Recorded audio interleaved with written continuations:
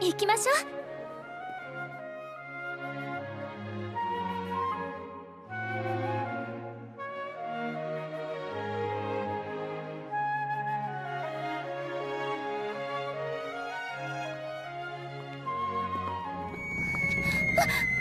裏飯や。表服や。大丈夫ですよ。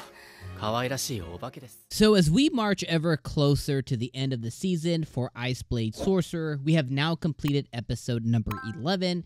We have one episode left, which, of course, like most anime end up doing because it's super cheesy and it just kind of follows suit of every other person that's done it before. The last episode is literally called like the Iceblade Sorcerer. It's like, okay, here we go.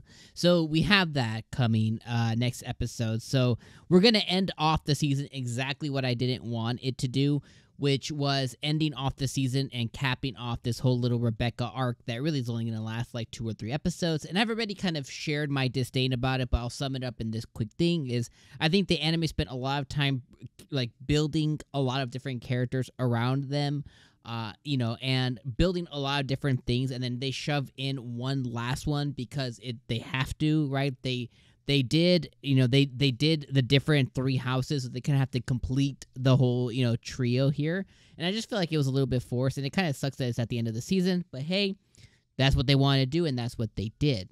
So with this specific episode, I'm a little bit hot and cold on it. Um, the main thing I'm gonna say, you know, um, I'm gonna let you guys know here. Trigger warning now. I'm gonna let you know one thing that I effing hated about the episode, and um, it might trigger one or two of you, or maybe none of you. I don't know for sure, but it's just my opinion. Just remember that. But here's the thing: is I absolutely effing hate this whole gender swap crap and it's not because that it's be like it's not because it's a gender swap thing. It's just because of the way that it's done. And i just feel like it's just so forced. So originally when ray did his little gender swap you know perfect girl transformation okay it's completely unbelievable but yeah okay man all right sure you can do it and i know it sounds silly and super nitpicky but it's like hey this is the thing that just like impaired my enjoyment of the episode so when he originally did it, he did it because he was to go and infiltrate an all-girls school. Well, he basically made it past the entrance of the school and was immediately found out and immediately revealed that he was Ray White. So it was like, okay, so it almost makes it, it almost makes it negligible originally that he decided to become Lily White or whatever, right? And it's just so stupid to me because I was like, okay, if he's gonna do it, like go go full, go full, you know, go full in. But bro didn't, you know, he he went full in past the entrance and then was like, well, I guess I'm Ray. Let me tell you about me now, Ariane. So it, I thought that was already stupid, but I was like, okay, I'm gonna let it go. I nitpicked about it. Then we have this episode where it doesn't fit at all. They're running a maid cafe. They shove in the maid cafe a couple of times here. Uh, really just for fan servicey stuff, right? They they shove it in because Ariane visits or Ariana, whatever. Ariane visits, and then they shoved it in again because Maria visits uh, and she liked Lily. Uh, and they shove it in a couple of times, and then suddenly, like he's the poster child for some reason. Instead of Amelia being the poster child, Ray's the poster child for this for some reason. So his whole class suddenly knows that he was this transformed girl, not just Amelia and his friends. So it's like, okay, that's weird. Uh, and then he he transforms, becomes a perfect girl again, and then he he decides to continue being that. It's just it's just so dumb and i felt like somebody at the studio you know somebody directing this was like make him a girl. And they're like but why? Because i said so. And they, they just did it. They just shoved it in there. So i don't know. I think it's just hella stupid. All right. So that that's my piece. If it triggered you sorry yell at me in the comments but that's just how i felt I was like this is this shit's dumb like okay now, moving on from that, I think the rest of the episode was okay. This that's where the hot and cold. The cold part of it was that part. The hot part of it was uh, I enjoy learning more about the Bradleys. I think most of the exposition was done towards the end of the episode. We basically learned that the Bradleys have been cursed for centuries. There's the there's a power that they obtain through their bloodline called the power of Kreutz, power of Kreutz, Kreutz, Kreutz, Kreutz, Kreuzenheimer. I don't know exactly how you have to say it. It looks very German to me, but uh, uh, Kreutz, Kreutz, uh, Kreutz. Um, apparently, this this certain power appears in their bloodline every few centuries.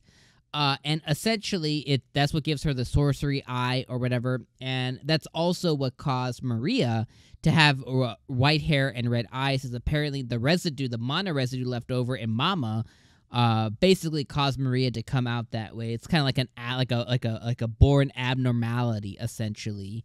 Uh, and if Rebecca doesn't learn how to overcome and control this power of hers, uh, typically these folks who have this curse only live to about 20. So not only now do we have Ray who has next episode has to save her from whatever these douchebags are called, the weird random villain guys.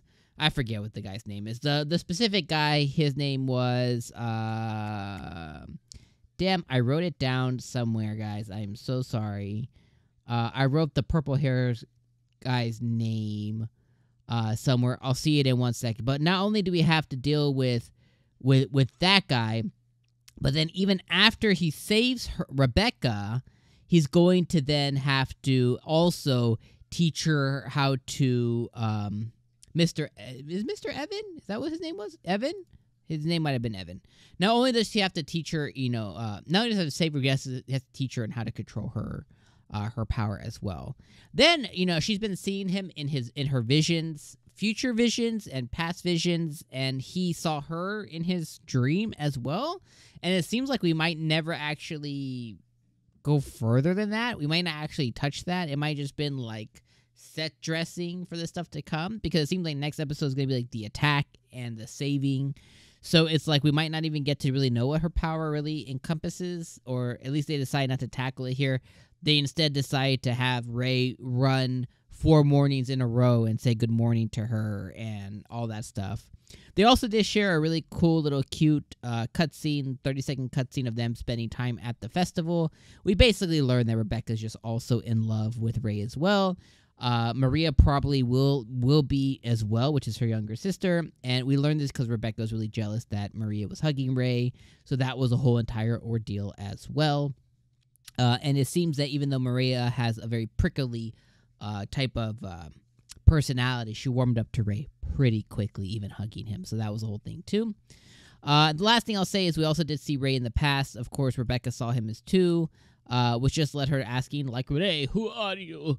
Uh, but we saw him, you know, getting hugged by uh, the pink haired, pink haired menace uh, lady as well uh, in the past when they were laying a friend to rest. So overall, this episode is kind of all over the place, in my opinion. Again, I was pretty hot and cold on it. There's a few things that I just simply did not like. A couple of things that I did like, again, like learning more about Rebecca's family. I think that context was really welcome that uh, backstory is welcome. I just think it was like really shoved in right at the end of the episode. That exposition could have been done a lot earlier. Uh, but regardless, you know, it is what it is. It was what it was. It was an okay episode. Uh, we have one more left, at a very uh, middle of the road type of ordeal here. But you know, again, this is one of those animes, much like another few animes this season, that has had moments of brilliance and moments of just sheer disappointment. Again, a very hot and cold.